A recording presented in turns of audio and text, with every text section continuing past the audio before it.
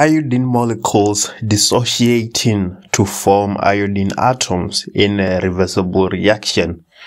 And then we are given the balance equation, the Kc, and the corresponding temperature.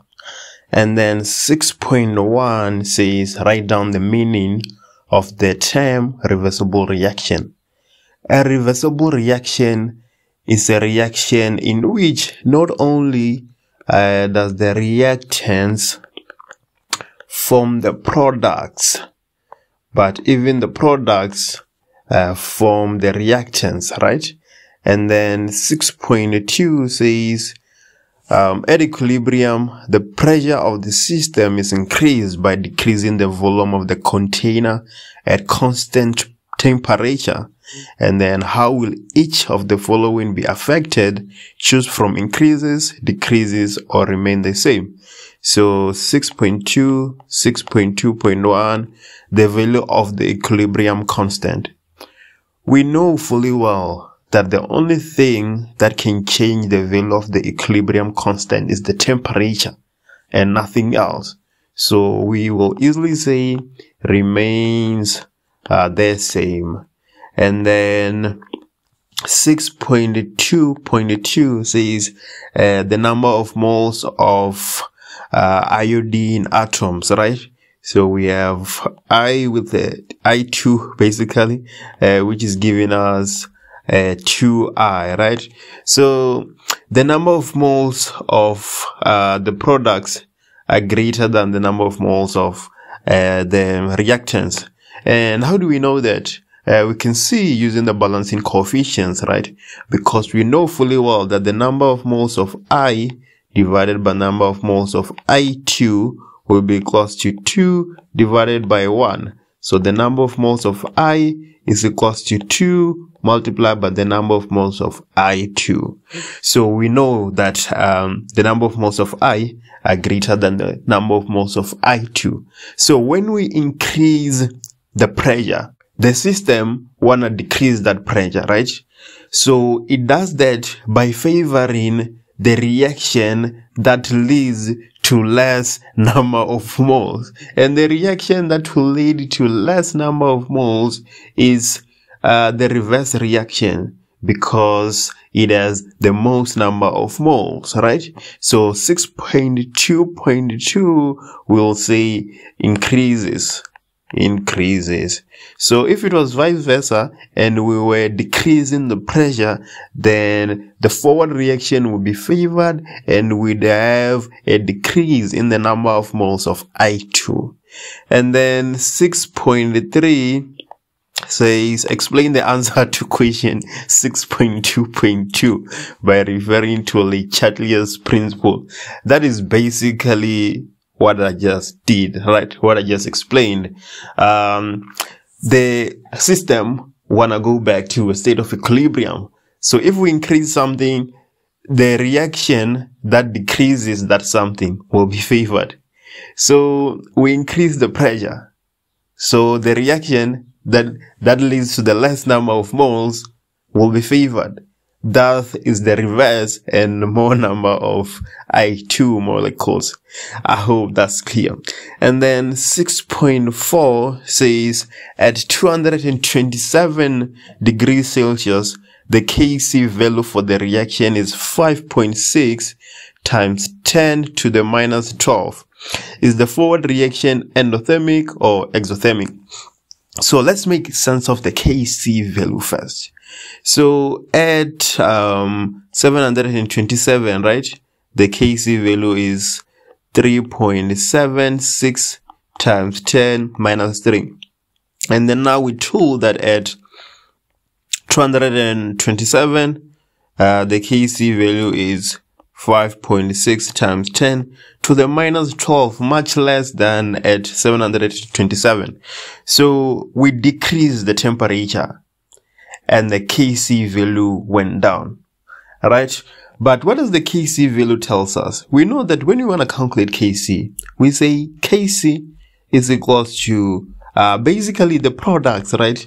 Uh, divided by uh, the reactants. That's what we are essentially saying. Although we'll square based on the balancing coefficients and all that, but then this is what we are essentially saying. So if we decrease temperature and the Kc value goes down, it means that now we have less, less products, right? We have less products. So the reverse reaction was favored by the decrease in temperature. Which reaction is favored by a decrease in temperature? That reaction is exothermic, right? So we're saying that the exo, uh, we're saying that the reverse reaction is exothermic. So that tells us consequently that the forward reaction is endothermic. And the question is asking us to explain whether it's endo or exo, right? The forward reaction. So we're going to say for our answer, endothermic, because we know fully well that the reverse reaction is exothermic because it was favored by a decrease in temperature. And then again, it says fully explain your answer, which is what I just did right? So when you're explaining your answer, uh, you can start by writing down these K values, explaining that Kc is basically products by reactants. And then you can see that when we decrease the temperature, there is less products. So the reverse reaction is favored, which uh, reaction is favored by decrease in temperature. That's exothermic. So the forward reaction is consequently endothermic. So let's do 6.5. 6.5 says a certain mass of iodine molecules I2 is sold in a 12.3 decimeter cube flask at a temperature of 727 degrees Celsius and we are given the corresponding Kc value. And then it goes on to say when equilibri equilibrium is reached, the concentration of the iodine atoms is found to be 4.9 times 10 to the minus 3 mole per decimeter cube. And then we're supposed to calculate the initial mass of the iodine molecules. So before uh, we go anywhere else, uh, let's have our equation. So we have I2 uh, giving us and getting back from 2i, right? So if we uh, draw our table, we're gonna have uh, the number of moles initial, the change in the number of moles, the number of moles in equilibrium, and uh, the concentration, right? It says that for the concentration of the iodine atoms uh, at equilibrium, we have 4.79 times 10 to the minus 3. So if we have this concentration here, we can then calculate this number of moles here and then consequently uh, get the change in the number of moles because initially we had zero here, right? So now we're gonna say uh, the number of moles is equal to the concentration uh, multiplied by the volume.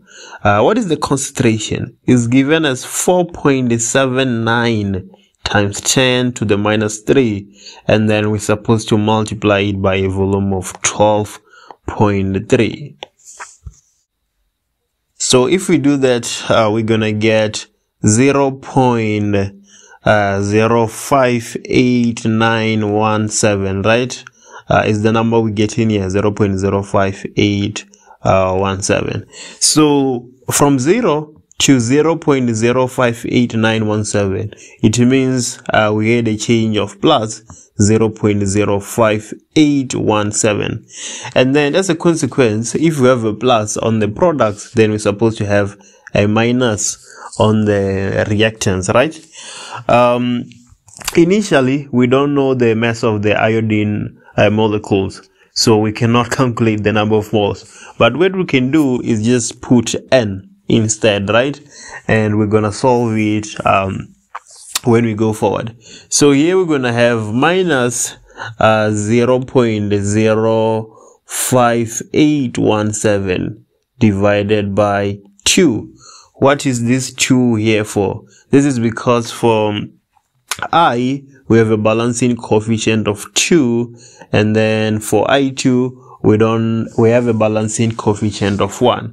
So if you do that, so we're having 0 0.5817 uh, divided by 2. So we're gonna have n minus 0 0.02985, right?